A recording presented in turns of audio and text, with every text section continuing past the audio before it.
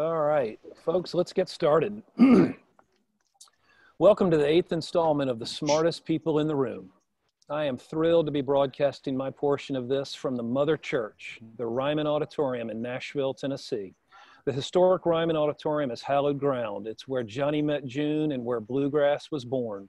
The Ryman opened in 1892 as a non denominational church and has been hosting events spanning every genre since the 1920s. Before the COVID 19 shutdown, the venue typically held 300 events per year. Earlier this year, Pollstar magazine awarded the Ryman Theater of the Year for the 10th consecutive time and the 12th time overall. No other theater can come close to matching that track record of success. For fans and artists alike, you simply cannot beat the Ryman as the best place to play or catch a show, period. And we are spoiled rotten to have it located right here in Music City. Guests can experience 128 years of inspiration and strength of the iconic Nashville landmark. The Ryman Museum is open for tours every Tuesday through Sunday. Visit ryman.com for more info. And as you can see, it is open for business behind me. You see people milling around, they're taking the tour, so come on out and enjoy it. Before we get started, let me take care of some business. I want to thank all of our sponsors First Horizon Bank, Buffkin Baker, Four Roses Bourbon, Fairlane Hotel, Core Power Yoga, Tennessee Entertainment Commission, Lightning 100, Tennessee Brewworks, Moo TV, Jive Printing, Project Music, and also Organics. So let's get the party started. For anyone who works in the music industry, these two guys probably need no introduction. In fact, these two are so well known that they qualify to be recognized by single names, Geiger and Lefsetz. If you say either one of those words, music industry people know exactly who you are talking about. Today, we are so pleased to welcome back Bob Lefsetz to our stage as the interviewer. Bob is the music industry's most important, widely read, and influential spokesperson and blogger. He's most well known for the Lefsetz Letter, an industry wide newsletter that you should subscribe to for free. Bob's industry commentary can also be heard via the Bob Lefsetz podcast and Sirius XM's Volume 106. Never boring, always entertaining. His insights are fueled by his stint as the entertainment business as an entertainment business attorney major domo of Sanctuary Music's American division, and consultancies to major labels. Bob's guest today is Marc Geiger. Until about a month ago, Marc Geiger was worldwide head of music for William Morris Endeavor. In his position, Geiger oversaw strategy and operations for the world's largest music booking agency. In 2018, Geiger's team of 200 agents booked over 35,000 dates for artists across every musical genre including pop, hip hop, rock, and electronic music. WME's artist accounted for more Grammy winners than any other agency in 2018.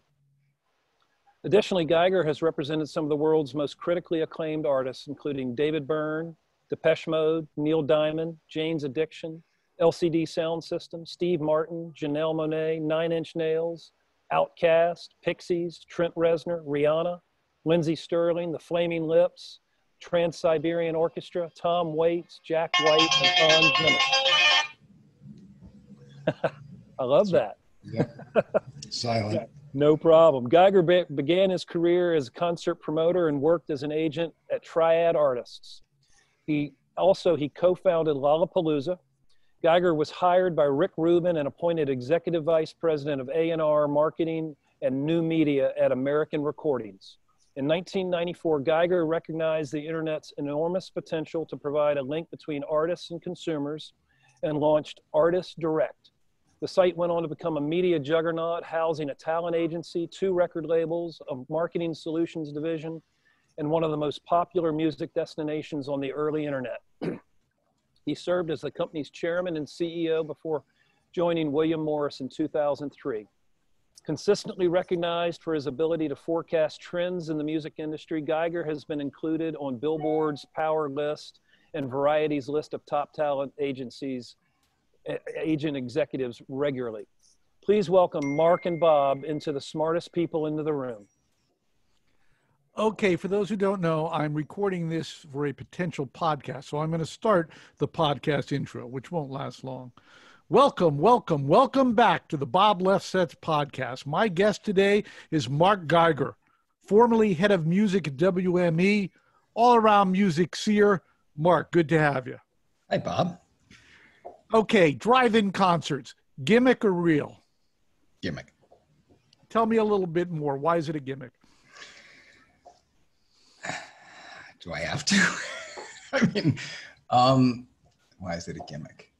Capacity is very small by the time you actually put the cars in. Um, pricing with a disconnected experience is high. The audio, I don't think, can be very good yet in the car, but hey, um, these are temporary stopgap solutions. So for me, economically, they don't scale. Garth did a very interesting thing, basically with a pay per view, right, to other drive ins. I think there's a feeling that what I call during the what I call the germophobia economy that almost anything will sell because there's everybody's dying to get out of the house. So for me, it's not really a a great experience, to be honest. Well, that begs the question: uh, When and the economics are broken, so let's you know, Right. let's get real. People are doing things to do them, not to make a living? So when do you think concerts return? My guess is late 21, more likely 22. I think that this is going to be. Look, the whole thing's a shit show. you write about it, everybody knows. Whether it's testing, organs, the government, that just let's not. It's too infinite of a well to go down. But in my humble opinion, it's going to be 22. Um, it's going to take that long for what I call the germophobia economy to be slowly killed off and be replaced by what I call the claustrophobia economy, which is everybody wants to get out and go back to dinner and have their life and go to festivals, go to shows. And my instinct is that's just going to take a while because, as you can see, these super spreader events, sports, shows, festival, anything, classroom, ain't going to do too well and it, while the uh, while the virus is this present. So my my instinct is the world has a very long forced time out. A lot of people see the positives in it, um, whether it's climate, whether it's pollution, whether it's traffic, whether it's nature, whether it's animals, whether it's our own beings and taking a pause. Um, and I know it's frustrating, maddening, and um, economically, you know, destructive. But ah, that you know this is bigger than us and if you study history things like this have happened in history and been super disruptive to normal society so here's a biggie for our lifetime Let's go drill down for those people who are not experts like you. To what degree is insurance and liability a factor in restarting? well there is no insurance against covid currently offered and even normal insurance policies are pretty scarce and hard to come by. The insurers are sitting on the sideline because there's infinite liability. I don't know what's tested not tested lawsuit hey i got covid at this event. How do you prove it? etc i think the biggest companies can maybe self-insure um, and they can start. Everybody else has to wait till the insurance industry feels good. So that's one of many many roadblocks in the way of restarting this vibrant economy that got put down right so there's probably 20 of them when you drill into why can't you, the virus and the illness being one, you know, all the spacing, the density. Insurance is a biggie. And um, I don't know when that comes back either.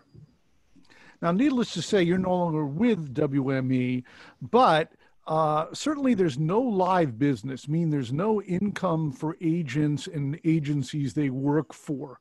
What we've learned over the past week is a lot of these touring entities got money. The Eagles got money for their road business, et cetera. Question I'm asking is to what degree will sitting on the sidelines for two years affect the economics of the industry. Can these companies survive? Michael Rapino says he can borrow money. There's no, not an issue, but being in the heart of an agency, can these agencies and these other support elements survive two years off? Look, um, no matter what anybody says, it's economically devastating. Okay. So I recognize that, and I don't think any excuse um, can be made, and there will be a huge amount. If I'm right on the timetable, right, there's going to be a massive amount of bloodshed and bankruptcies, and it will not be good for the majority of the industry. I think Michael Rapino's right. You know, he's he's big. He has great backing. People want to buy his stock. Um, he's got Liberty. He has a great business when it comes back. So you can borrow against that. And it's not a great outcome, but your question is can they survive? I think people who have access to really good financing credit facilities can definitely survive, right? And I know the costs of carrying over some of these businesses, agencies are actually relatively cheap. Michael Rapino's got a much bigger issue and a much bigger staff. The biggest agencies are, again, cheap is a relative word, right? But if something's going to cost 50 or 100 million dollars to bridge for a moment, um, again, that sounds huge, but in today's world, when you have access to capital, you can borrow against that for a year or two. And the businesses were quite profitable and they can pay down the debt service. It's a short term mortgage. Okay. And when it does come back, how does the landscape change? Phew.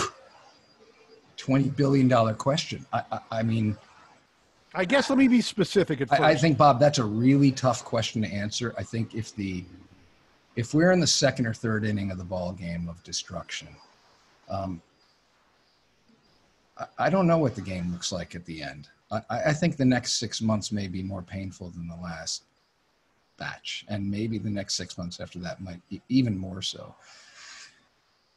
So I think one of the things that happened for me after leaving was um, I was able to look at the pandemic two ways. I was overseeing or part of a team of industry people who oversee oversaw this destruction, this cancellation, postponement, et cetera, et cetera. Tried to have order out of it, but was sort of trapped in that viewpoint. Um, now I get to look at COVID as a bit of an opportunity, but the question of where to exactly look and who's not going to make it and who's going to be under distress you start bottom up, small people with no access to capital, people of high overheads, people who have staff that they can't easily go into shutdown mode on, they're going to get eviscerated and they're going to need help. Um, I think just for one second, those people in the back. The audience right. about live touring and how artists can make money outside of touring. So you all you all carry okay, we'll, we'll, yeah, we'll, get to that. So in any event, recapping here, Marc, you said uh, when we look at the future, we're talking from the bottom up. Uh, people at the bottom are squeezed for capital. Please continue. I think that again, people with infrastructure and more overhead and lack of access to capital, it's a perfect storm for them.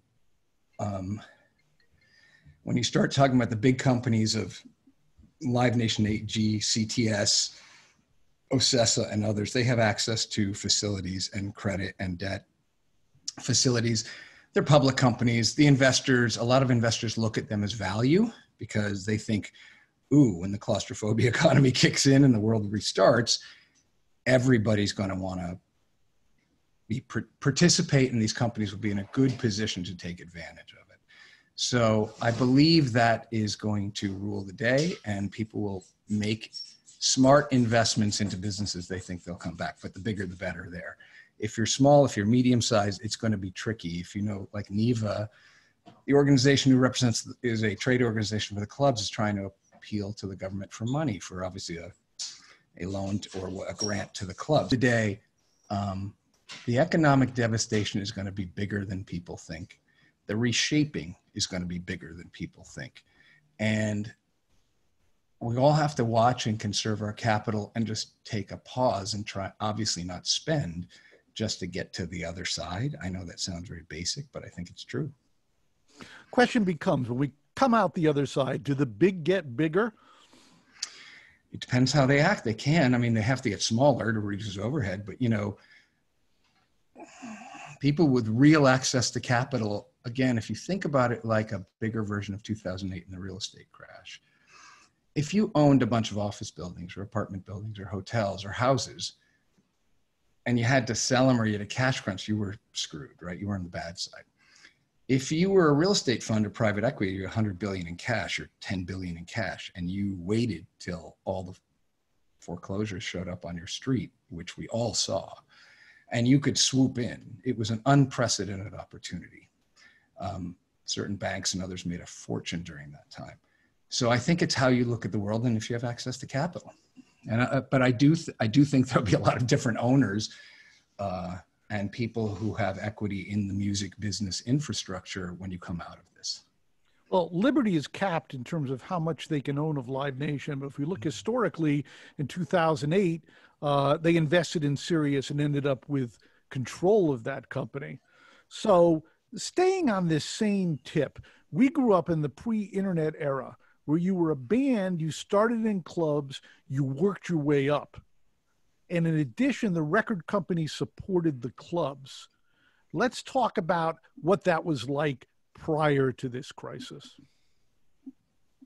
Um, okay, wh- which part do you want me to My start? on? question is Is that paradigm broken? No, What do I think it's more important than ever. I think that there's just because the world switched to streaming and there's a different distribution system, artist development's not that different. You have more tools, all right? You have more connectivity.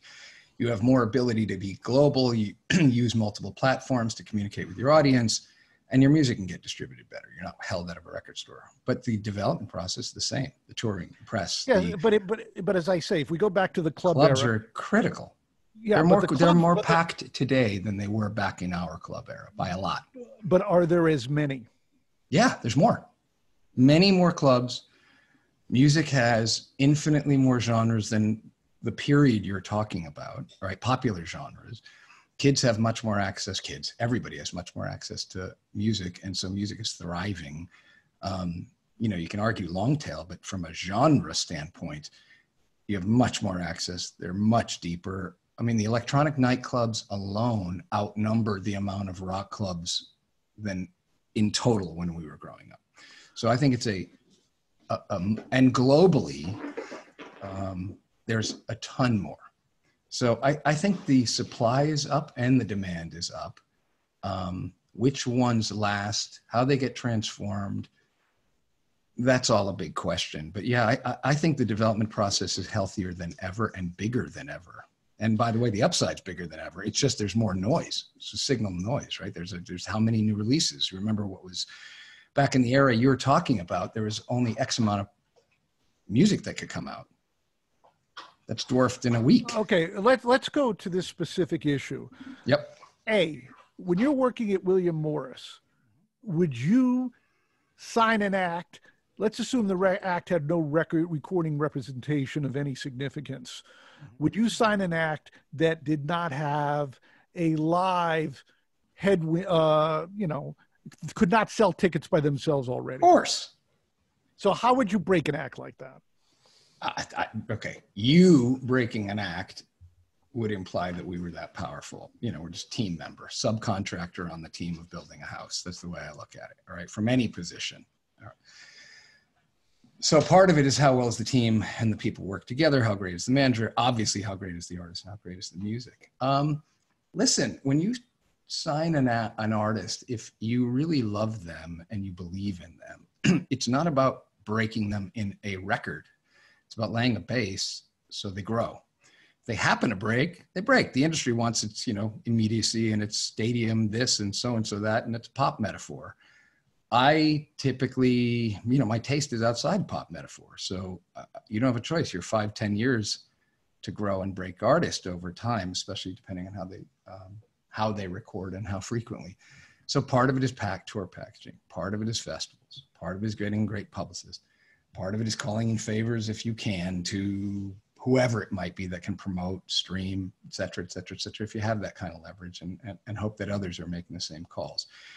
From our standpoint, when you were on the agency, and by the way, you work well with the manager, the manager had, you know, how, how's their social media? How are they on?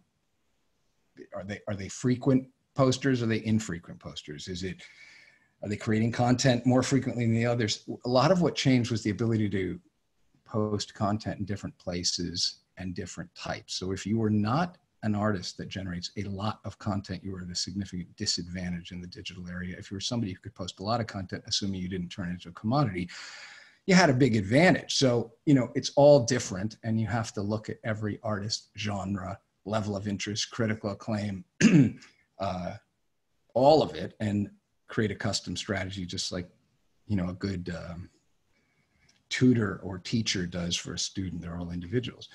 So part of it is can you get other artists to love them and recognize what you love about them and and champion them? There's a a, a lady i signed before before i left called Jensen McRae and she is my favorite. She's joni mitchell meets tracy chapman. And i think she's absolutely spectacular. A couple songs on spotify. The albums should be best new album best new artist on the grammys. Um, she's a social media monster and she's hyper genius so she's very different than some of the other people who don't post. They're not political. They're not trying to build an audience that way. And her music is more viral than others. So I think there's a lot to all of this, and it's very custom, and there is no one. What we have now is an open system like technology where everything can, an app can be made for any platform because there are open systems now. Leave Apple out of this for a minute. Um, generally, open systems, I think music's the same. And so people who create more content know how to communicate with their audience do a little better. But that was part of the job was make giving them opportunities. Getting the right slot on coachella lollapalooza this festival that festival this opening slot this so and so this right night. It, it, it's all of it. And if you do it all right you know people think you do well. But that's what can I tell okay, you? so speaking of the signal to noise, it also yep. applies on the agency level. There are more people making music, more people looking for your time and your abilities to work with them. To how does someone reach you or W when you worked at, or an agent at WME, or do they have to be involved with someone who knows you because there's just too much product? You know, it's an interesting thing. First of all, everybody's reachable because I'm pretty easy to get to as are most people out there. If you try if you don't know anybody and don't can't figure an email address or where to post or what to do i, I understand that. But i do think when you look at things that are incoming you have a lower hit rate than when you look at things when you're proactive. So let's call them reactive. I get 20 million artists coming at whether it's wme in the old you know in my past or any other agency or any other label or I'm trolling blogs, critical list, all music guide, consequences sound, Stereogum, whatever it might be. Other filters that I trust and I proactively go after the records, all right, or the, the artists. That's the difference between an 80% success rate and a 10% success rate. So a lot of the time you don't want the incoming, even though that story sounds good. Hey, somebody got to me. They were fantastic, whatever. and um, I think that the bottom line is to try to prioritize your trusted filters over just incoming noise would be what how I'd answer that question. So I didn't care that much about that. It's kind of like you, by the way. You're the one who writes hey, if you pitch me on a record, I'll never play it. And then no, no, no, I have to read every, wait, every three letters is some random rant on a record you discovered. And you wouldn't write it if I told you to listen to it. You wouldn't. yeah, absolutely, man. But so, there's so much incoming, it affects the business. There you go on so many levels. Since you were in a different vertical than I am, I, that's why I asked. Same shit. You know what the truth is? I, we had to process more than you did. You could be more selective because what you did, we had to process hundreds and hundreds and hundreds and hundreds of artists and try and make intelligent decisions, whoever you are in any business, thousands.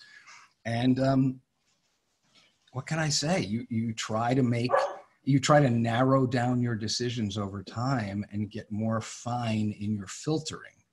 Well, generally, you know, you know, I would say this is 99.9%. I don't respond to email from people I do not know unless they're famous, yep. uh, because 10% of the public is literally insane, and you yep. don't know what 10% it is. Have you had that issue where there are people who are relentless and cause problems for you? Yeah, but who cares? It, it, what, it, yes, but that's few people. You know, you didn't listen to my music. You don't know what you're you talking about. so you get judged on ultimately you get judged on the artists you work with not the failed attempts and the who wanted to get into the party and you didn't sign them. It's did you find were you able to identify good artists? Could you grow them and develop them? Did others on your team do the same? Could you be collaborative? Could you figure out more intelligent filtering systems? Could you figure out more intelligent marketing promotion systems or whatever it is or artist development systems in our case So, you know, that's what it is. By the way, Deborah Newman, Harv- Southside did a great one, and it was great for New Jersey. They're just one offs. But even though they're successful, sorry, I'm reading the chat. Hi, Kate's. Love you. Okay, now in the old days, pre-internet days, a Yep. developing act would bo- essentially borrow money from the record company to stay alive until hopefully they broke. Yep. How do you do it today if there's no record company involvement? Well, here's the good news. In the old days, you needed a record company. Today, you don't. Right? I mean, you know that. You write about it all the time. Of course. So you okay? So there's now in the old days there were two ways to get on the freeway, right? Record company or you had to be a loud indie, right? And even the indies developed over time, but they had them, right? Back in the pop days, you could have VJ, you could have this, you could have that, Concord, Rounder, Sub Pop, etc. Matadors. There were many, many of them. You, those were your two on ramps, and the rest of the time you were kind of in the demo bin. Nowadays, there are multiple platforms from all the way up to Spotify New Artist Program from SoundCloud, da, da, da, da, da, da, da, and you can break on TikTok or something. All right. So you have options. Didn't have them before. You also have scale options, global scale options. You also have CRM. CRM, technical term for identifying your audience and figuring out how to keep them, right? And keep them interested. And that is what record companies tried to do without the actual communication directly with an individual.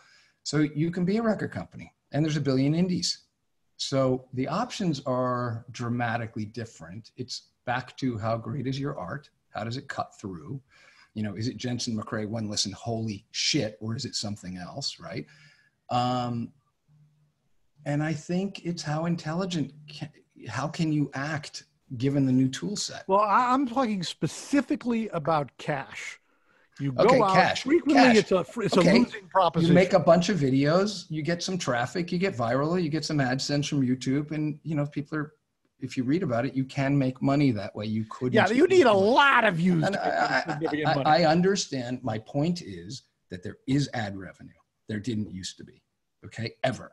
There is ad revenue across a bunch of platforms if you can generate traffic. If you are, look, Bob, I cannot answer you to tell you that all the two trillion artists who want to make it in this world are going to make money. They're not. That's not how the system works. Okay, no matter what system and no matter how open it is, there's a bunch that get through, have traffic, listeners, and fans that make money from the bottom of the pyramid. let- not- let me let me be very specific. okay, good. in all these days, you put a band on the road. They need a van.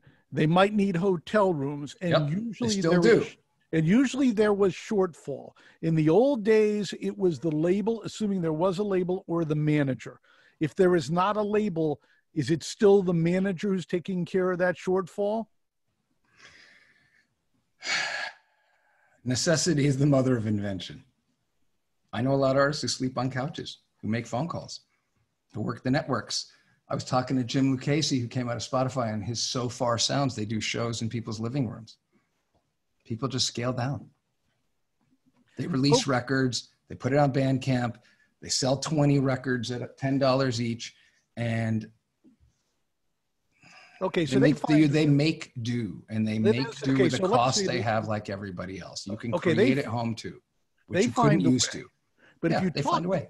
if you talk to people who sell clubs and of course clubs have been redefined. It used to be really under 400 but now you know you have the wiltern that is 1500 but if you talk to acts that consistently go clean in those venues they are bitching ad infinitum about the ticketmaster fee and they can't make money. Needless to say on the other end the stars dictate.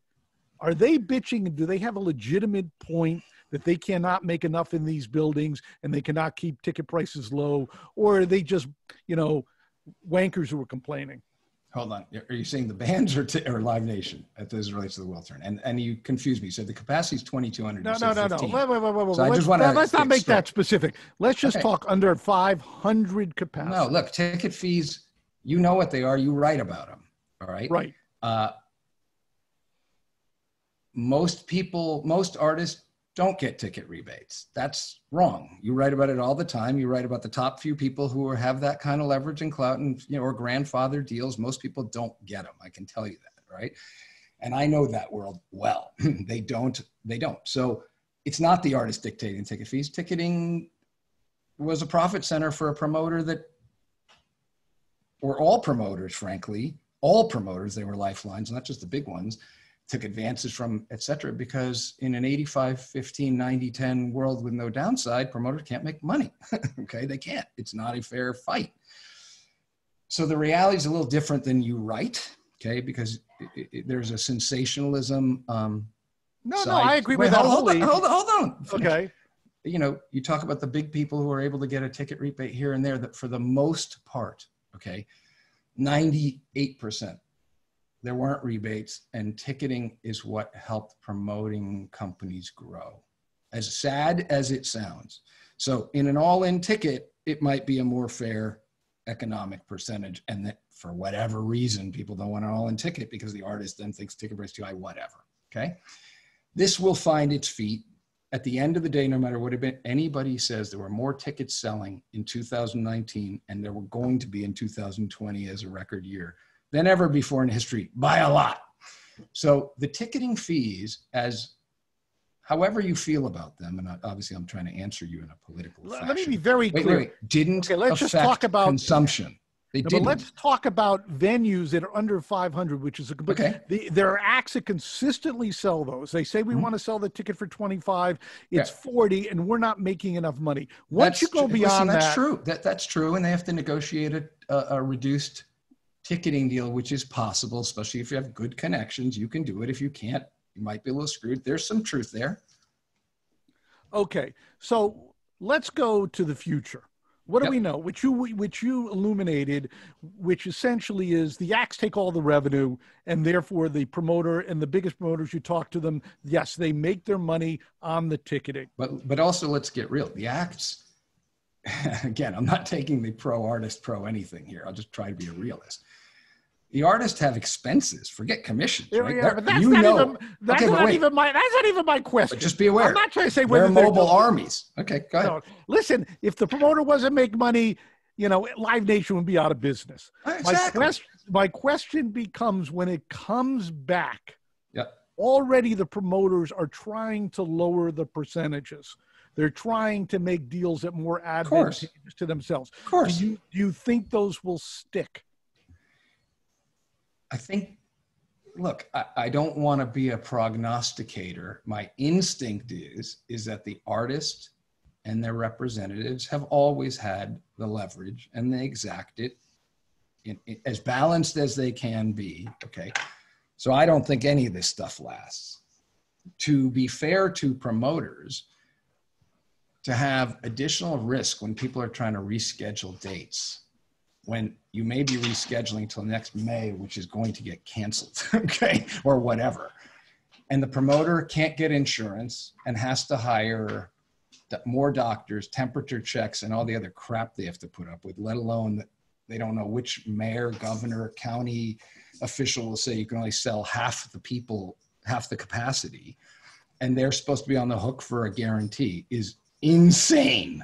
All right. I mean, just insane. The risk is infinite. So promoters are absolutely not wrong. They should say everybody should share the risk. We don't know what the future's like, certainly in the immediate short term, right? And everybody does need to pitch in. Um, and I think for the most part, before I got, uh, before I uh, exited, um, most people were, and most people, when you really think about how much risk the promoter does carry and what they have to deal with, and the lack of food and beverage or sponsorship and all the things that canceled out of any of these people's lives from an ancillary revenue standpoint, they're getting pounded. So to just think, oh, they should bridge their companies and then they should make minus minus dollars isn't really fair. So that was sort of in my two cents what, what I would say back to you. I think it is needed in the short term, like any help is needed for anybody, whether it's governmental assistance or whatever. Talent fees are high, and and they'll find their way back. It's like the stock market, you know, it goes way up, then it goes back down, then it crawls back up, it goes back down. And if you're an investor, you're kind of used to it. And I think artists will have to play that way. And I, I, not every artist, remember, this is too easy of an argument because not every artist sells the same amount of tickets and means the same gross. So there's levels of risk just of promoting artists in general. Okay, and maybe if the overall market's down 20%, and half the artists sold 60%. Now they're down 40, you know, they may be down to 40% or something like that. And so the promoter has to deal with that too. I don't think it's going to be all back. new capital. Sorry. Let's let's go back to the agent. Used to okay. be for historically the agent got a straight 10%. Assuming you have an agent, the people who can go clean, the people selling the big buildings are not paying 10%. So give us the landscape there. Well, listen, 10% business is different if you're in theater, books, acting, film, television, etc. Let's. We're only talking about music. I got it, but I want to explain it because it's important for people to realize it's about effective margin. Okay, and I tried to explain this to a lot of people in Hollywood so they understood it because a lot of people in Hollywood felt that music people were disruptive and disrespectful of a commission system, which is not true. It is totally different. Okay, if you're a director or an artist, you get or an actor or whatever it is, writer, you get paid your fee and you pay either an attorney uh, or, or, an agent or both, and you keep roughly 85, 90% of the haul. If you're an artist and you get a gig, you may be 30, 35, 25, 20 to 35%, maybe 40 of the net. Okay, that's your net of a guarantee. So commission off the top, which is a gross number, is a big number to that. It can vary the net by a good amount. And when you have million dollar guarantees or higher, commissions can be very high at 10%. So there's been a natural arc, I should say, um, over time in the music industry because of this. And arc is as the artist gets bigger, they they pay less commission, right? And they make it a more digestible piece of their fee structure. And I think they do that with a lot of the professionals on their team as they have more leverage. And I think that's historic.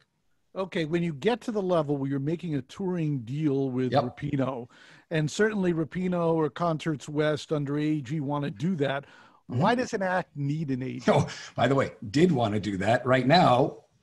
you know, questionable. You, hang, hang on, you're, you're the one who mentioned that they have all this money out. Yeah, I'm sure they would like to have a lot of it back right now and keep some employees uh, and some other infrastructure versus having it sitting in an artist bank account that can't be recouped at the moment. So that will find its its day two, right? And who has that much advanced capital and sitting out and for how long and dot dot dot dot dot dot. All right, back to your question because I I took a side road. Okay. So what were you saying? It was the agencies. Da, da, da, the, the, question is, if you're making a touring deal with Live Nation, just simplify yep. that. Why do you need an agent? A lot of people don't. A lot of a lot of the lot of the managers do those deals directly. Um, and look, there's a whole bunch of reasons. Uh, you don't know what you don't know. So, are you paying for professional advice? Are you paying for people that know the market? Why don't people list their houses more on their own? Tell me why. It's cost five to seven percent or whatever it is. Do they think they know the price? Do they think they know the deals? Do they know the comps? Do they know how to do it? Um, can they market? Can they get well, that no, that's right, so wait, wait, hang on, hang on. No, no, no. These are specific answers to the right. same thing in music. And can they get on that festival? Oh, they make a deal with Rapino, and now they want to play Glastonbury, or they want to play Coachella, and that's AEG. Then how do you manage all of that stuff, right? Um, and the truth is, there's loyalty in this. People grow bands from inception, and here's a big deal, and you're going to cut people out. There, there's a lot in this. It's not one answer, right? Sometimes when it whether it's reading your articles or other um, people's take on the industry it's very simple in black and white. And I don't think any of these answers are, okay, because there are millions of artists, or at least tens and tens of thousands, and they're all different. So I would say you should, if you ask 10 managers that question, they would give you 10 different answers, including I don't need an agent, or I would only pay them a reduced amount, or you know what, they deserved it and they earned it, or I think they got me double the money, or they got rid of an earnout provision in the deal that would have lengthened, you know, wouldn't make it a finite deal. There's a lot of answers there. Okay. Or, they, or you know what? I don't need to pay them on this, but the private corporates and the college gigs or the fair dates or the festivals outside of so and so are worth so much to me, and that's where I make the money. I'll pay them a reduced on it. Again, it's there's a lot of answers here. Okay, let's say you're an act. Uh, a lot of these festivals have three to five stages. If an act plays At at, two in the if, if they play at two in the afternoon, other than saying I played that gig, okay, I played Lollapalooza, is there a benefit to them? Can they break? I think so. I mean, listen, I've said for years and made it a real point to say festivals are the new record stores.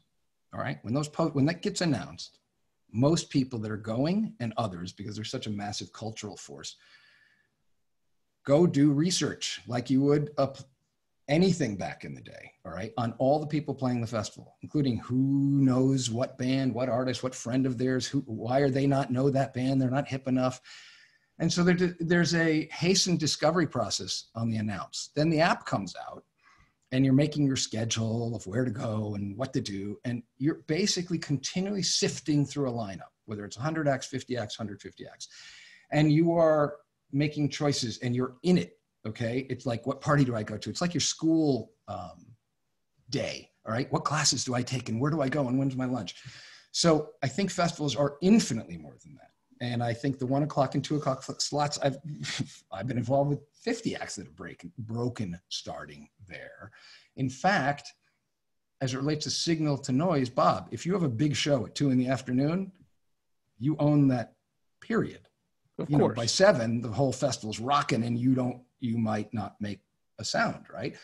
So I'm not sure it's a disadvantage. We've purposely put artists in the old days early in the slots to avoid competition. So they got all the attention. Amy Winehouse is four o'clock on purpose. Okay, let's to what degree you've talked about this over the last 15 years or so, expanding the purview of the agency into advances, into promotion of concerts. Are these venues that agencies will continue to forage in, or will they ultimately just be arbiters of gigs? Listen, I, I can't, I don't want to tell you what other people are going to do moving forward post COVID. What I would tell you is the market's going to get pummeled. And when that happens, typically things can be more formless and opportunity drives. And nobody's going to be worrying about regulation at the moment, you know, not for years until this thing comes back. So the answer really is where do people see opportunities and where are they willing to go and do, including the agencies, right? Labels could go start agencies or management companies. Michael Rapino was all an, an AEG of invested management companies and other things and venues. Uh, I know Coran Capshaw, he went and spent or, or, went and invested in a lot of different um, vertical markets around touring. A lot of people have. So I, I think it's a, the one thing that everybody's learning through this is how complex the ecosystem is and how many pieces get affected, right? When the revenue stops and artists can't play, including even labels, right? People think labels are okay. Well, really, all the indies depend on the artist touring, getting press, putting out records in order for, they don't spend that much in marketing promotion. They don't have it. So, um, and the majors, as you know, have reduced their flow of new releases infinitely because people don't want to just lose the record in a week for the most part again. So I think everything is on the table. Everybody is going to make some choices where they think the opportunities are best and where they should invest and what they should grow. The great news, unlike past disasters, I don't know if there's ever one like this, but but um, is that the music economy is way bigger and way more healthy than people know. So wherever you invest, you got a good chance of making money or striking gold, because as you know, value of copyrights is going up. Look at the Warner IPO, Spotify price, everything in the copyright IP business is skyrocketing. Look at Merck Mercuriadis's multiples on his publishing. That world is going nuts. You read the Goldman report, it'll tell you four to six times. You're talking a $100 billion recorded music industry minimum. And then the touring industry and how vast it is, and it was just really growing, um, especially globally. You know, it's going to go through at least a double, could be 50 billion a year, bigger than the movie business, and all the associated pieces. I think it will come back, will come back big and it'll be healthy. The question is can people get through? And then where they spend their time, agencies, yeah, everybody can remake themselves now. Okay, let's go into genre. You were saying that generally speaking, you are not personally into what is on the chart, so to speak. how strong hip Which, hop? which charts? We're talking about the on the Spotify. Spotify top 50.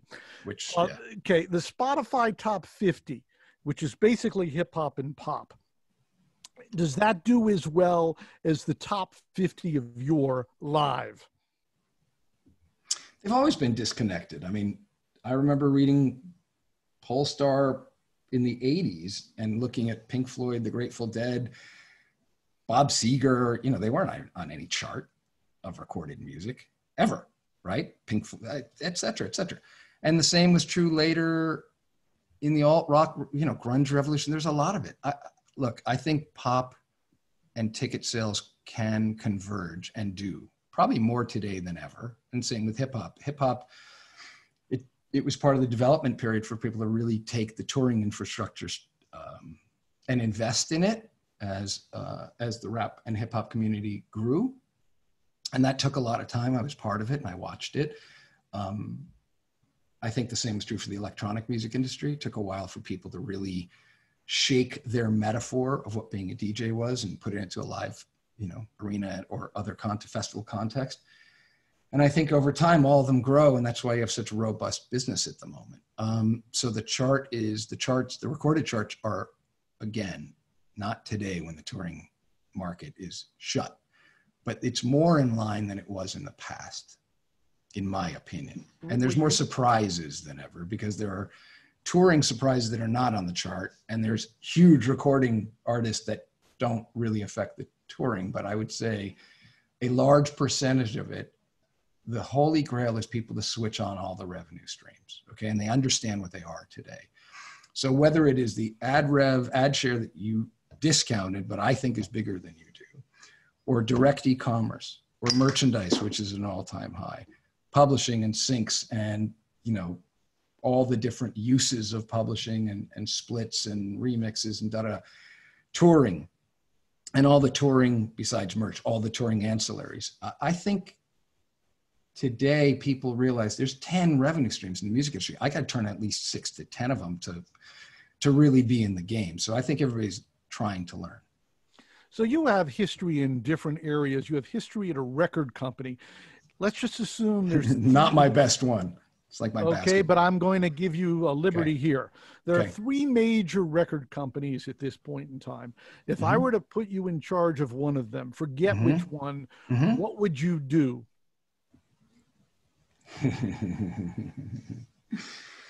Besides take it public? Yes. Um, okay, well, that's the first thing. All right. Um, and I think that will be happening. well, really, some- Sony is part of a uh, Sony Music is part of Sony International. Warner just went public. I, And I- I know, but Sony, Sony, right now, it used to be that you know, if you were content, you were driving the machine. There's an argument to be made that Sony Music's valuation is getting crushed by being part of the bigger. Yes, play, but right? you So have I- to. Uh, but you have to I- I- I'm assume just- that Sony I'm wants just- to own it. Okay, Okay. whatever it is, it doesn't matter. I think that you know it's a separate stock. Um, Universal obviously is under Vivendi, and I think Universal at some point goes public and will be massive and good for all of them. They've done a ridiculously great job building.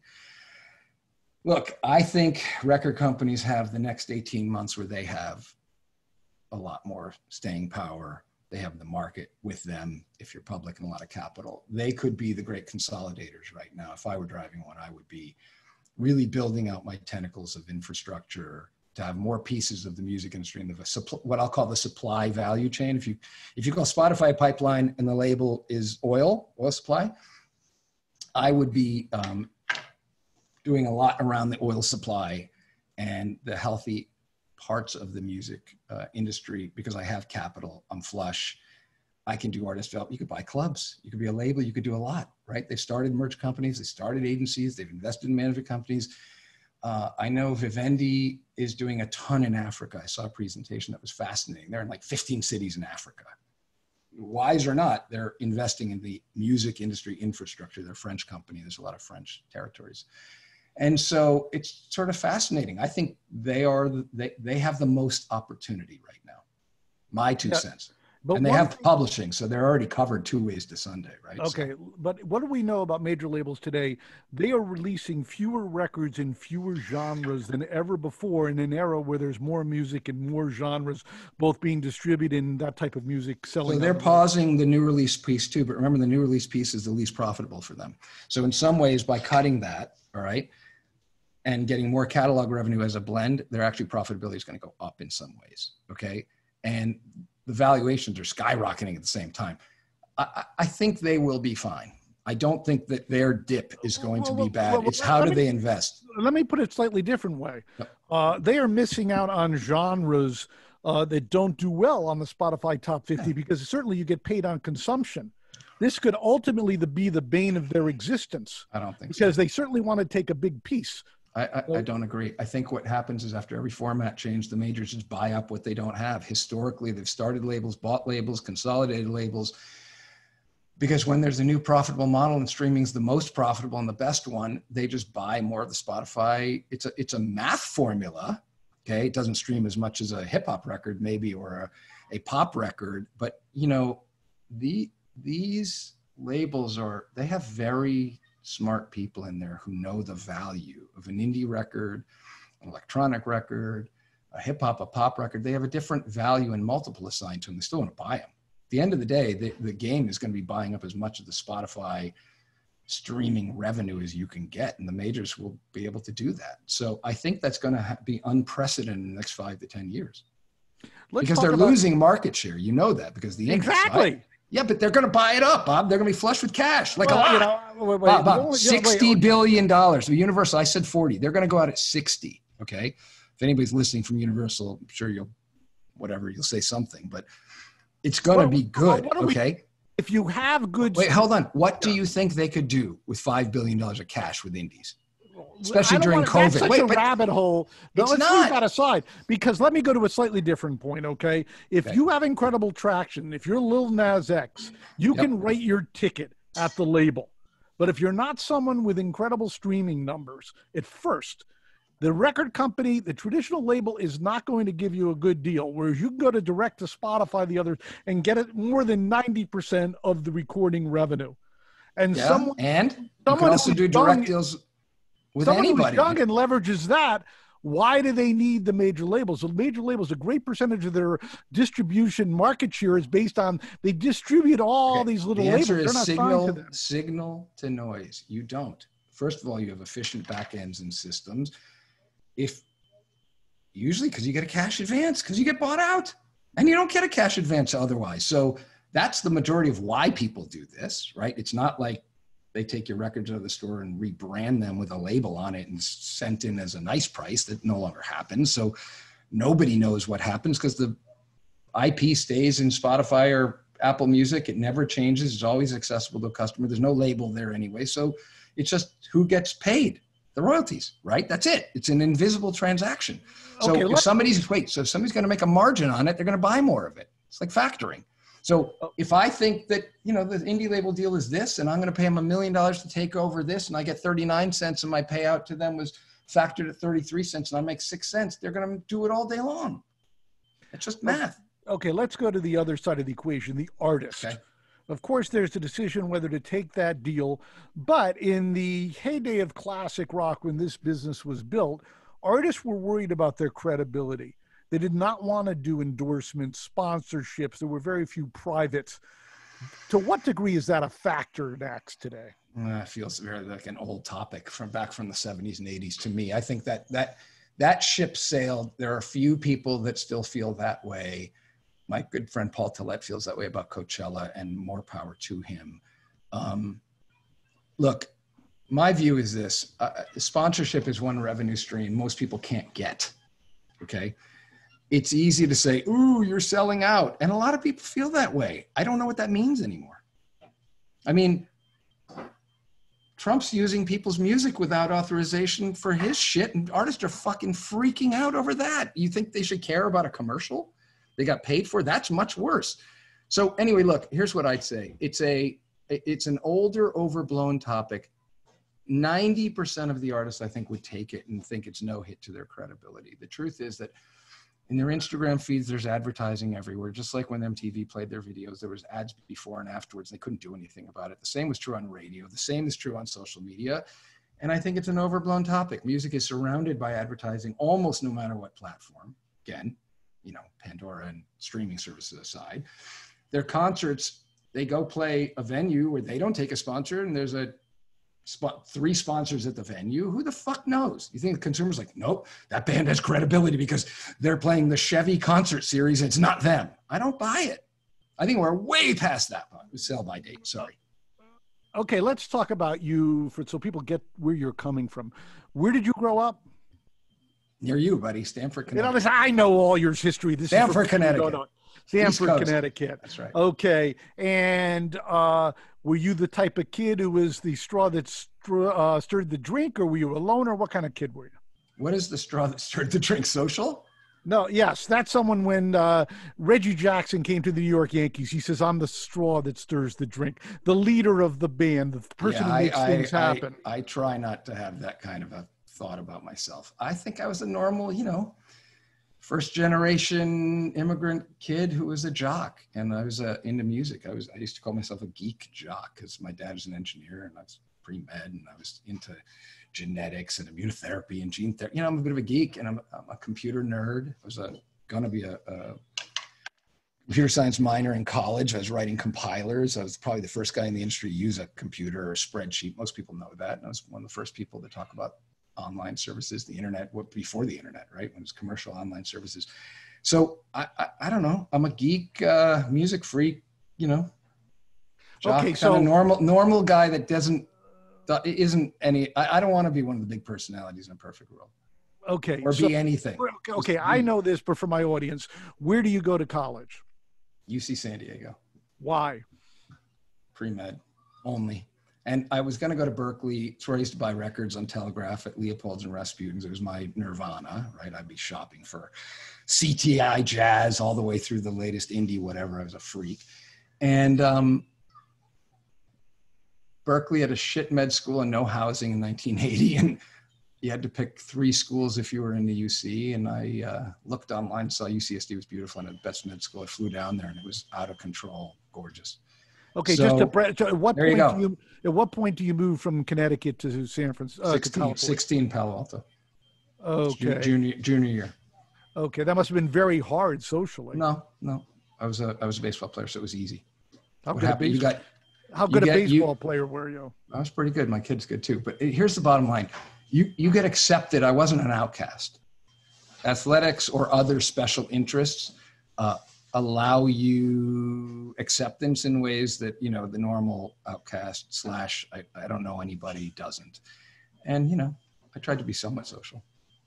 Okay so to go to ucsd how do you get involved in the music program there? That was a fun story. So um had some fun fun dorm mates by the way. Mike judge was a dorm mate. Was a, uh, at the time. So they had a campus record store and I signed up to work at it. It started the year before. And uh, once again, what once again, what year are we in? 1980. Okay. And I ended up running the record store within two months, I think, maybe a month. And that was really fun. I, ha- I managed a band out of the record store. I called their number on the back of the vinyl. It was called The Church. Martha, excuse me. Hold on, guys. Martha. So what I was uh, at, at, that point, then the campus radio station came calling. I joined the campus radio station, and I took that over. Um, I then joined the concert committee, and that went really, really well. And I ended up promoting shows on campus, and then oh, okay, a little bit slower because usually there's a hierarchy in college. You're the newbie, and there's a senior. There wasn't not not a UCSD. Everybody, it's a nerd school. It was you know. It, no, and I kind of I don't I don't want to say anything here, but let's just put it this way. I was lucky enough to have an idea of what to go do, and that led the day. So, what did you say to do? Well, in the concert area, buy more shows and put on more shows. And I convinced the administration, then call, just didn't have fear calling agents back in the day. I remember this day calling Andy Waters on my first show and Joel Peresman on the second show I promoted. And trying to remember who did Spyro Gyra at the time. Paul LaMonica on BB King. you know, Joel Peresman on King Crimson, Andy Waters on Ian Hunter, and it just rolled. I, I don't even know what to say. My friends said to me, Yeah, this is what you were always destined to do. Fuck that doctor shit. That was a bunch of bullshit cover for your mother. And this is what you were going to do. But I didn't know that. So it just went. And I ended up having okay, a lot of success down there. And I was on 91X in the radio. I started Humphreys and it blew up. And I. Whoa, whoa, whoa, a little bit yeah. slower. How many shows did you do at UCSD? Four to start, then started a company, did four more, and then got hired by what is was Avalon Attractions, Mark Berman, that then got bought and is now Live Nation. But the, and then hundreds of shows, junior and senior year, hundreds. Really? Hundreds. Okay, yeah, so you really. say you started Humphreys. Tell us about yeah. that. Um, it's a venue in San Diego. It's been going 30 something, 35, 37 years, probably the hottest venue in San Diego, one of them. But what happened was we were, I promoted Carla Bonoff, Bonnie Raitt, and Jon Anderson from Yes at the old Globe theaters in San Diego, and which are gorgeous. All right, 900, 1200 seaters, but they were union houses, and you couldn't make any money. Okay, and uh, no, Bob, I did not charge twenty dollars a ticket to make money on top ticket fees, but uh, you couldn't. So we were looking for a cheaper venue, and I happened to go with a production manager to a radio station.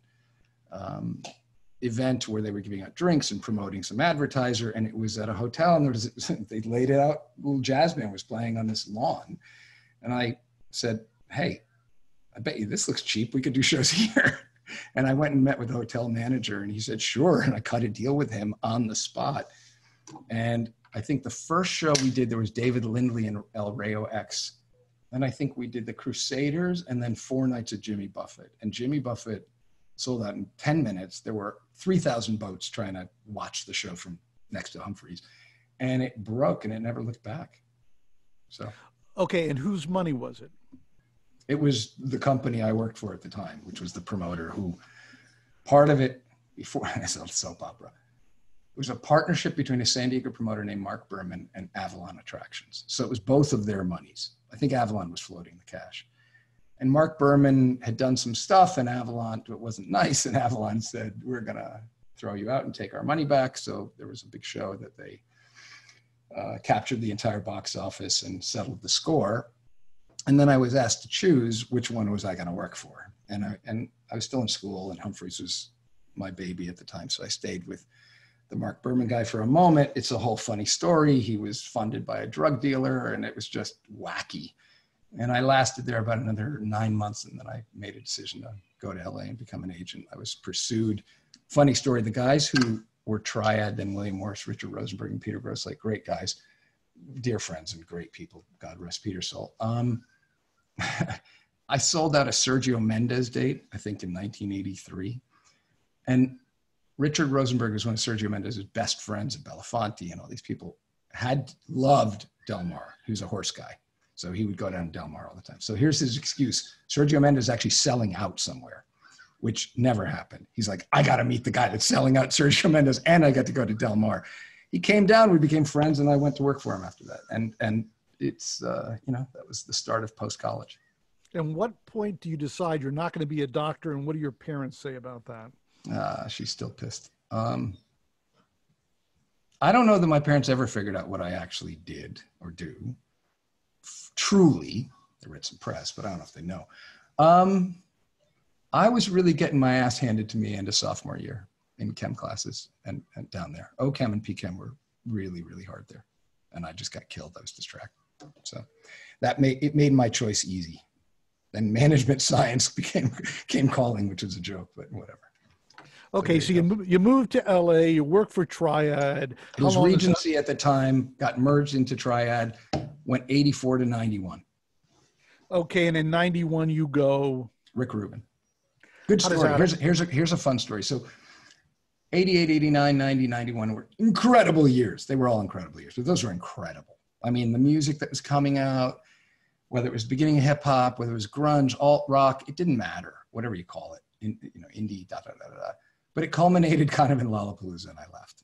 And I was really upset. I got a shitty bonus one year and it really bummed me out. And then the other thing that bummed me out was product manager at Elektra Records had all the say and the promotion people over the Pixies, who were one of my favorites. And I was a Pixies fanatic. and they were putting out, I think it was Trompe le Monde, and they picked the wrong single. And y- you should appreciate this. UMass was the hit, and they never put it out as a single. And I went crazy. I was like, the Pixies are finally going to have a huge hit.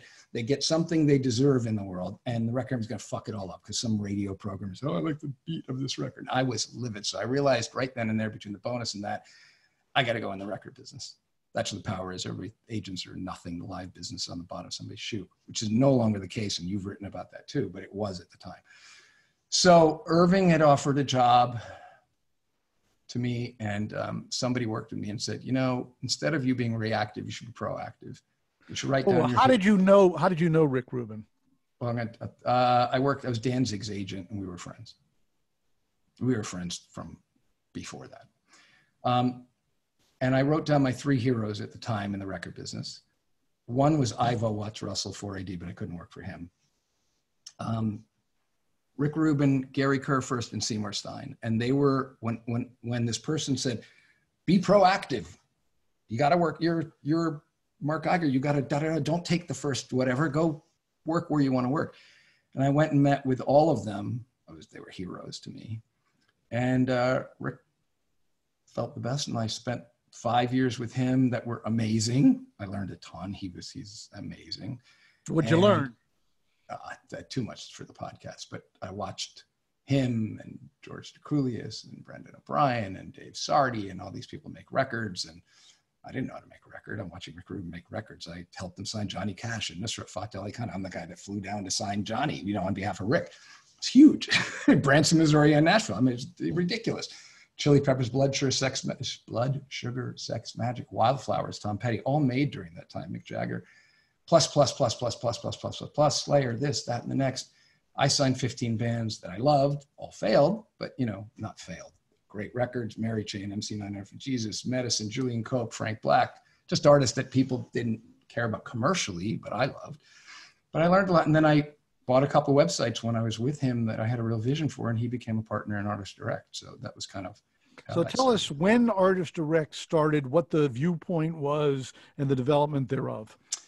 Viewpoint was pretty simple. It's fun. Okay, so here's a funny story. I, I saw Mark Cates's somewhere here, but um, so this is relevant. If you haven't seen the Beastie Boys documentary on Apple TV, I highly recommend it. Watch Linda Ronstadt's too; it's amazing. But the Beasties brought me back to um, a story. Ian Rogers and I met in Detroit at Pine Knob. I think it was a Beasties show. Wasn't Lala. It was Beasties show, and John Silva was there, and I was freaking out at that period over the internet and what it meant. And I just to be clear, what what year are we in? Do you remember? Ninety. Good question. Whew. It was not the internet. It was commercial online services. So it must have been earlier, 92. Okay. Okay. And Ian and I were explaining the Beasties and Silva what was going to change about the world. And fast forward, I was in the car with Rick, 94, 95, explain, maybe it was 96 when the browser came out, uh, explaining that right now I didn't understand how if I was a fan, and I used the Beastie Boys with Rick obviously because he was uh, instrumental there, um, why I have to go to a concert to buy the band's T-shirt, and why when I want to find out what they're doing on their new album, I have to wait and buy ten magazines to see who's going to write about them, and I want to buy go to the record store and buy their records, but I can't buy their ticket there. I have to go somewhere else I said, what the fuck is that? It's like the worst organization system you could even think about. It makes a scavenger hunt look good, right? Because it's random. I said, it's impossible to be a fan. What the, terrible. So again, I've been in commercial online services, AOL, CompuServe, Prodigy, you know, Delphi. My buddy from college was one was probably number two in Silicon Valley. They made a movie about him because he was such a forward thinker uh, in terms of home automation and networking. And I said to Rick, when the browser hit, I said, the world has to be reshaped. Everybody has to go to the artist for everything their tickets, their t shirts, their information, their tour dates, their music, their videos, and it should be in one place. Why do you have to fucking jump around? the digital, the, this internet thing is going to allow for that to happen. I want to build a company that builds the home base where everything is at. So when people go there, they get everything. It's a stupid organizational system. This is a reorg, okay, with the artist around the center. This is before the concept of commercial online streaming services, which then is a platform where you have a lot of artists, right? But then hopefully you link to these centers. Now there's multiple centers, multiple channels. But at the time, it was built trying to build the first one. So the real thought behind it was trying to centralize the artist content and their goods, right, and their information, and not make it, you know, a road trip to have to figure out how to get that shit. It was it was maddening. And and for me, who was a super fan of Indian underground music. Um, it was double bad because those artists didn't get in Rolling Stone or on MTV or on the radio. So now you had to dig and wait for, God, was it written about a musician magazine or did Option do a story or Trouser Press do something or Cream or this or that or depending what you were doing or, oh, I got to wait till the NME comes in three weeks late and Sounds and Melody Maker to see if they write about them, right? And I'm representing New Order and the Bunnymen and, you know, Smiths for a moment and uh, Cocteau Twins and the Pixies and Dead Can Dance, and nobody's, they're not on the fucking radio. K Rock, whatever, some of them. And um, how are you going to find out about that? And then what really bothered me was I said, okay, now I'm an agent, I'm working with these bands. I'm in New York for the Bunnymen. They sell out Roseland and Radio City, 10,000 freak Bunnymen fans. And after the show's over, nobody knows who they are and how to get to them again. And I go, that's the dumbest thing I've ever heard in my entire life. I have to fix this. This is so stupid that things with this kind of fandom, where those fans would kill to have Ian McCulloch say, here's a new song or anything, right? Kill, crush. And there's no system for that. So those two thoughts is what I went to try to do. Okay. So you leave Def American, which becomes American at some point. What year? Right. 96, beginning in 96. 96. Right when the what do, you, what do you do for cash on this startup? Started an agency, we made cash right away. Had some okay. of the biggest artists in the world. We had Chili Peppers, Rage, Pearl Jam, Bjork, you know, nine. So we had a lot of. Okay, was just to be clear, was the agency part of Artist Direct? Yeah, yeah, yeah, yeah, yeah. The whole way. That was the concept. We didn't take financing for a year and a half, and then we raised very little. We didn't need it, and we built I built the first system in FileMaker, e-commerce. Both the booking system and the e-commerce system was built in FileMaker. I wrote it. I coded it. So we were doing FileMaker transactions. And what happened? Here's a funny story. So I was good friends with Norman Perry from Perryscope, Vancouver promoter, great guy, hyper smart, dear friend. He went to work, I think, in Toronto for Michael Cohl, and then he opened up one of the merch companies called Brockum with Peter Lubin and got sold it, got pushed out, whatever, and then started a new company. And he had David Bowie, he had the Rolling Stones, you know, he had some real heavyweight folks. And he was a big friend and fan through another mutual friend, but we were dear friends. We still are to this day. And when we were opening Artist Direct, the Rolling Stones were a huge business for him, but he couldn't sell anything online, and this e commerce thing was new. And I called him up. In fact, my friend Keith said, You should call Norman and see if you can get the Stones. And I actually, the first band Artist Direct ever signed was the Stones. Ever. Norman was like, I'm going to set you up with Mick. Bless you. You go meet with Mick. If you can convince him and he's an online freak, you go. And I went and met with Mick in the Four Seasons Hotel in Beverly Hills one morning, came out in the bathrobe. He, he's the smartest motherfucker. Anyway, he understands, understood the internet He's like, I'll give you this, but you got to get me my cricket. I want my cricket. Every city I'm in. Now, this was in 96 or 97. There's no cricket online being streamed anywhere, let alone streaming. And the bandwidth was terrible. You couldn't, AOL graphics were still downloading slow, right? So forget songs. And he wanted to watch cricket everywhere he went. He was furious that he couldn't, right? He's like, that's what the internet's going to be. Fast forward, he was right. Um, and he said, absolutely. And we built the Stone store and it you know, did a million dollars of e-commerce pretty quickly, and then we went from there. And it was a hell of a way to start. Um, sort of proved the concept, although it was early. There weren't banner ads. I mean, We were the very first implementation of SAP ERP system on the whole internet. you just think about what era you were in. There was no programming languages. You couldn't program a database. Everything was in Tcl, which ran CNET, and you had to hire Tcl engineers, TICL, and there were none of them. so it was, you know, today it's everything's plug and play. You could do anything on multiple platforms. So it was a very different era. Okay. Now we know the end of Artist Direct is it goes public and it goes bust. But what happens between that's a story by itself. Yep. Uh, what built, like we built like motherfuckers. We signed 125 artists, did their websites, their e-commerce, their direct marketing, their email, you know, marketing to their fans. We ended up selling tickets. We ended up selling albums. So whether it was Beck or Cher or it didn't, you know, we worked with a number of brilliant artists and they had records that didn't that the labels didn't want to count as commitment records. So we sold them direct to fan. And we'd sell 50,000, 20,000 direct to fan of a record that you never heard of. Now this is before digital, so it's still CDs or what a vinyl or whatever um, at the time. And obviously then the file business changed things. Um, it's kind of gone or close to gone by then. But we grew, we built, we grew far bigger, we built bigger, we did more stuff. Um, we failed on a couple record labels, which weren't really a big part of the business. We had a couple other websites, the Ultimate Band List, which was the first one, UBL.com, which was, you know, we were trying to grow the traffic. But, you know, at that point, you had MP3.com, then Napster, you know, prior to that, Music Boulevard, CD Now, then the introduction of Amazon. So, for historical sake, that's what you were dealing with. And nobody knew the difference between Napster and MP3.com and us or launch. Poor David Goldberg. And they didn't know, and they were all radically different. And but it was version 1.0 point oh of the internet with Alta Vista and Ask Jeeves and Excite and Yahoo and InfoSeek and Lycos. And not many people made it past wave one. And you know, our story was legendary because I went, we went public the week of the market crash, which was interesting, and Sarbanes Oxley.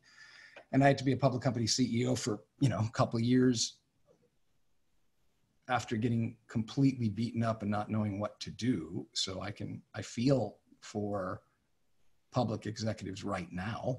Um, you know, 20 years later, they have to face a version of a completely decimated business and market.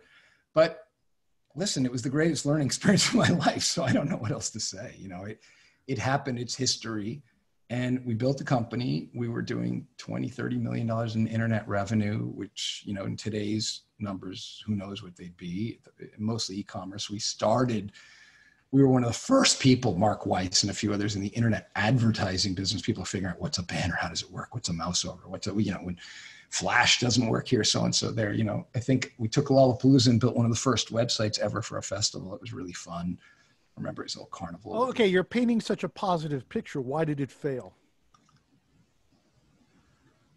Ah, there's a bunch of reasons. Number one, I fucked up. Number two, 15 years early, probably for the real market. Number three, I fucked up. Number four, whoa, whoa, whoa, just, it was a not, wait, wait. Number four was mean? a terrible market, meaning you had to for me to be an inexperienced public company executive when the market's closed for three years with Enron and Sarbanes Oxley and me trying to figure out what the fuck to do, I should have just shut down and thought about it and waited. I it was too. When I say fucked up, Bob, it was shit was swirling in my head. People were happy the internet was over. It wasn't. You know, it, oh, old media's see all you young upstarts you you you weren't as smart as you thought. You know you're dealing with a lot of crap. I didn't know what to do. And i was lost. I went and met with everybody who were trying to sell their companies. I had a lot of cash. I was still lost but i was an idiot. I should have held on to my cash and just okay. got through it. Definitively were you too early and it could never work? Or was there uh, you know my mother said next time don't wait at the bus stop son for 15 years. You'll do better. And I, that was a cutting fucking blow. Um, you know, I was so into being in the next system that I forgot that people have to transition into the next system. It was all about what I thought was possible, not what was going to happen. All right. Or, or consumer habits hadn't evolved, or technology hadn't been laid in, or the waves of the internet had to happen. I, I was enamored by this idea, and I just imagined time didn't exist and everybody was going to convert like they have today, right? So now that I'm supposed to be older and wiser, definitely older, whether I'm wiser or not, it's a different story. But once you look back, hindsight being 2020, you go, schmuck, there were massive societal changes that had to take place before your vision could come through. Who the fuck are you and what were you thinking, asshole? You like everybody's just gonna, you know, have their browsers handle this kind of ad thing, or they're gonna feel comfortable with their credit cards on the internet, or any of that stuff, right? Those are all hurdles that society has to get through. Or people will go to the web. There were no mobile devices, there's fucking Blackberries, right? I mean, the bricks. So, um, you know, this is the era of Palm Pilots. So I was a moron that way. And today I th- try to think, ooh, am I doing something that takes massive societal adoption? Is there technology that has to get laid in place? Ooh, do they have to lay in bandwidth for the shit to work?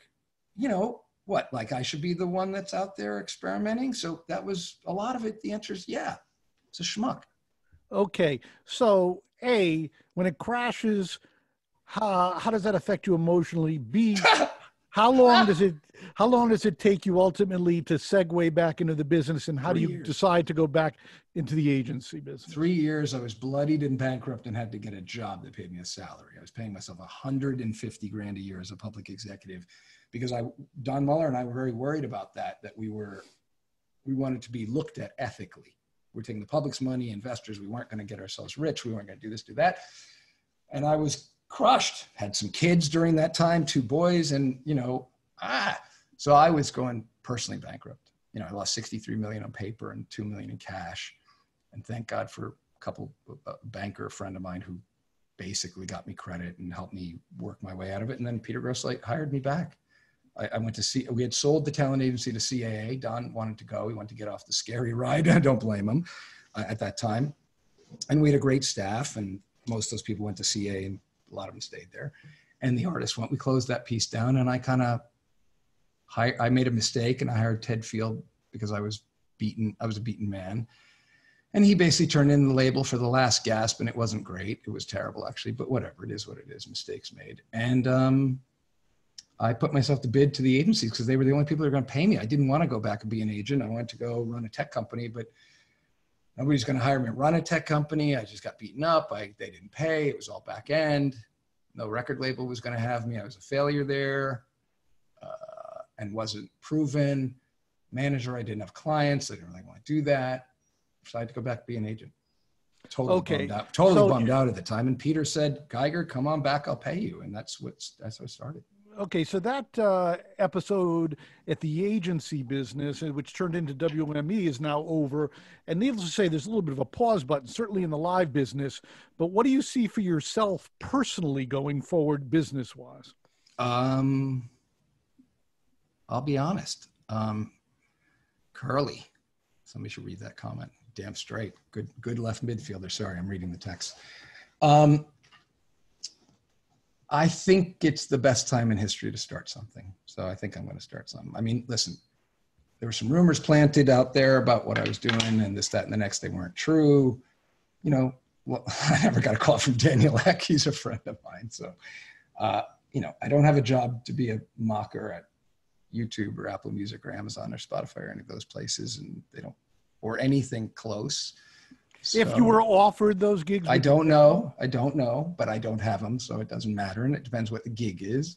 I got inquired about a position at SoundCloud that wasn't very interesting, but still, um, there's nothing really there. There's a few other big jobs I might consider in the rest of the traditional music industry, and they're not there and um, and that's oh that's okay. But the truth is when i sat out here over the last four months and thought about what made me happy because i'm getting older what do i want to do? Damn i'm this old. What do i really want to do? I came to a couple fun conclusions. One is i am what i am I love tech but there's no room in tech right now. I don't see it. Everything that i talked about happened. And it's big big i've said it you've seen my speeches. It's the big player time you, there's very little room for disruption right now. Okay, it's hard. Everything's being built onto the big platforms. And new media is in some way, it's not the same, becoming old media again, right? They just is, and it's bound to be that way. Um, systems don't change that much, even though the distribution and pricing change. Um, so I looked and I said, what turns me on other than tech and being forward is artist development and discovering music. And I'm a music freak and the underbelly of the industry, the ground up, Golden Voice, you know, clubs, indie labels, developing artists, you know, Jensen McRae is an example, right? So that's what gets me the most excited and gives me some purpose. And I could, and, and there's some part of me, and my friends know this, and I think they're the same, that feels young by staying very current in music and the music business and tech. Okay. If you're sort of, I'm into esports, my son's in esports, I'm very on top of it. I'm deep in the digital world. So kind of keeps you young and so I want to stay there. So I'm probably going to start up focused in those areas. Okay. Just looking at the business in large, once we get to the end of this pandemic, uh, what do we know? The record companies ruled until the internet. The internet came al- uh, along. A great percent, other than the tippity top tier of streaming artists, most artists make the majority of their income live, which has changed the paradigm in that the live business a funds these acts and b can break these acts do you, what do you see going forward in terms of where the power lies well this is going to be not that sexy an answer i think building an artist's career is like building a house the reason i use the housing metaphor is because the manager is really like a general contractor to me. They have to manage the owner, i.e., the artist, right? And they have to look after all the subs, the record company, the publishing, the agency, the touring, the merchandise, the this, that, and that, you know, everything, right? The advertising, the content creation. And they have to do all those deals or manage all of those things. So I think it's similar to a GC. And then I think all of the other pieces of the building the house, i.e., the, the artist, is um, actually important so in a weird way, you know, can the electrician do the roof and the hardscape? You know, i.e., can the promoter do this, that, and the next? Sure, in certain cases. But there's a lot of artists and there's a lot of specialized pieces to all of this. So as much as people want to label me a disruptor, I've never actually been a disruptor. I have uh, tried to identify disruptive disruption. But from a disruptor, you either drop price or you collapse and consolidate people into or, or companies and jobs into into um, you know you consolidate them uh, you disintermediate okay sorry i was searching for the word and I, I actually think that when the business comes back every piece of the subcontracting universe and general contractor will be more needed than ever because every artist will be hurting for money or success every club will Every venue will, every promoter will, every agency will, every label will want to get back to where it was. And I think it will be all hands on deck and more activity than ever before. So I'm not sure that I see there's consolidation opportunities like I talked about if Universal or Warner went on a tear and wanted to do some stuff and got really smart about it, I can see that. Um, I can see new money coming in like that real estate investor who doesn't have office buildings during the crash, but they have new capital and and and buying things. But I think every part of the industry is going to be vibrant.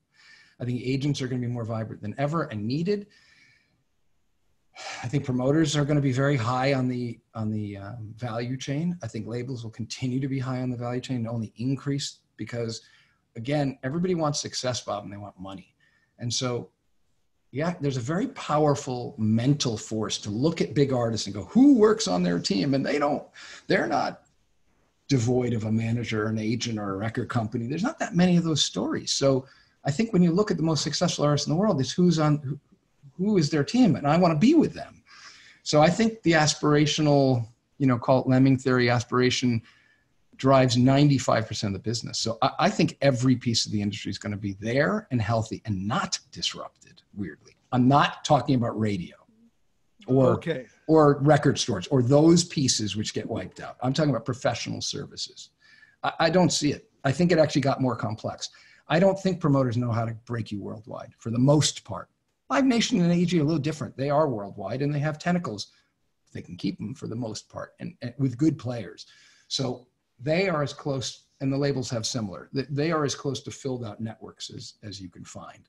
Now, whether they give a fuck about your little artist or not and would give you the, you know, this is where the theory is different when you're acting for a superstar than for anybody else. But there you go. Okay, forgetting the pandemic, what advice? Yeah, how, how do you do that? Sorry. It's not that hard when the question is ultimately revealed. Okay, fine. What what advice would you give to a new artist today, just starting out? Number one, make a lot of content.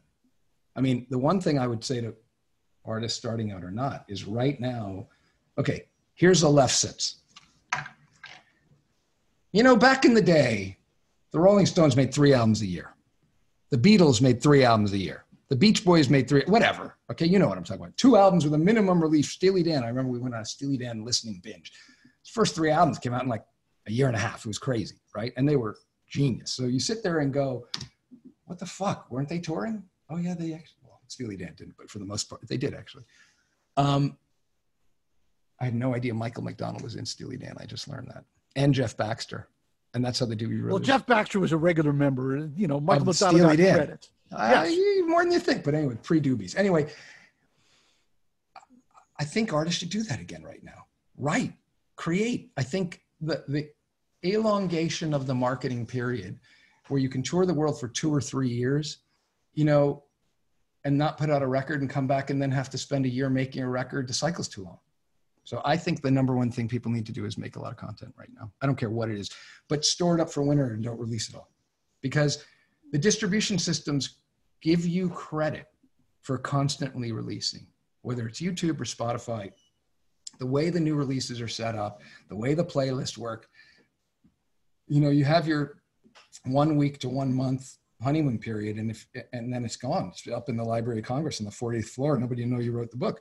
So to me, it is okay. How do I switch? I may still put out albums. Maybe it's the end of whatever, but how do I consistently work the system the way the system works, which is have new releases on a constant basis. So that's my answer. Okay, and what advice would you give to someone, once again, forgetting the pandemic disruption, what advice would you give to someone wanting to get into the music business? Not the greatest time. Um, look, there's so many people that are getting laid off by the music business. Yeah, but forget about that. Let's just okay, okay, okay, okay, I got it, I got it, I got it, I got it, I won't get there. I just, just right now is a just I can't. It's a shit time. Um, manage a band, no barrier to entry. I mean, you want to learn how to build a house? Start on the smallest house and build it. Figure out how to, you know, that'd be one thing. You know, there's no getting on the radio, you know, put together playlists for your friends. Uh, but managing bands is the lowest barrier to entry if you think about it. You can't get a job at a record company or an agency. It's not that easy. You can, by the way, you can join it. Agencies were an easy point of entry. You go in the mailroom uh, go be somebody's assistant that you respect um, and write them a personal note do some research. You know the biggest thing i found about young people is they don't do much research. I read everything coming up. I read every rolling stone guide cover to cover 15 times trouser press guide 15 times option magazine fucking print was six point font and i would read option magazine reviews if you remember scott becker.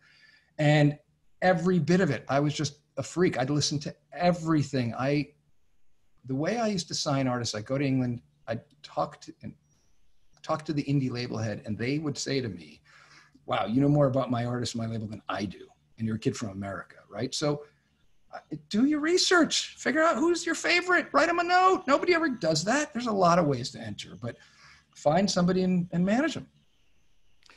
Marc, this has been wonderful. Thanks so much for your insight. My pleasure. Till next time. This has been the Bob Lefsetz podcast. Tom? See, Bob.